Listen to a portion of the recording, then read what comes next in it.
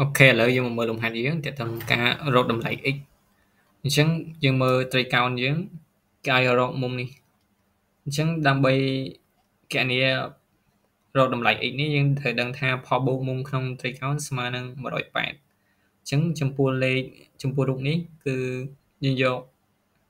43បូកជាមួយនឹង90ដឺក្រេដោយសារកែងអញ្ចឹងបូកជាមួយនឹង x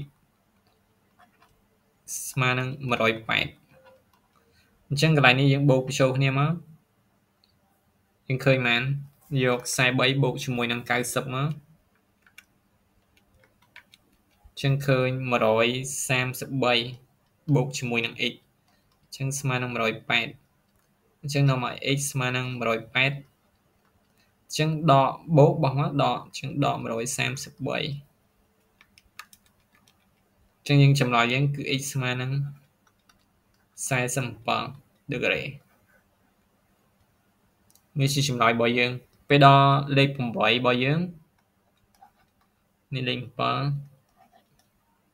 ចឹងលេខ8របស់យើង គឺស្រួលទេយើងអាច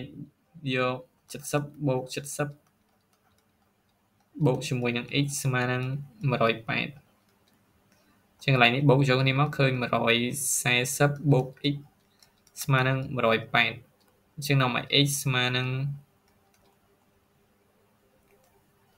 180ដល់140មកចឹងឃើញ40ដឺក្រេចឹង x យើងគឺស្មើនឹង45ដឺក្រេនេះជាចម្លើយរបស់យើងអូ40ដឺក្រេចឹងកន្លែងនេះយើងទីទីមកមិន45គឺ40ដឺក្រេ ព្រោះផលបូកមុំក្នុងត្រីកោណស្មើនឹង180ចឹងរបៀបគណនារកតម្លៃ x គឺធ្វើបែបហ្នឹងចំពោះរូបត្រី